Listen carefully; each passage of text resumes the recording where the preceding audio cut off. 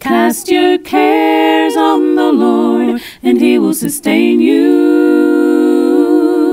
He will never let the righteous fall.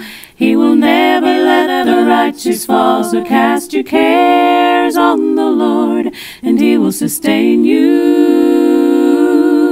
He will never let the righteous fall.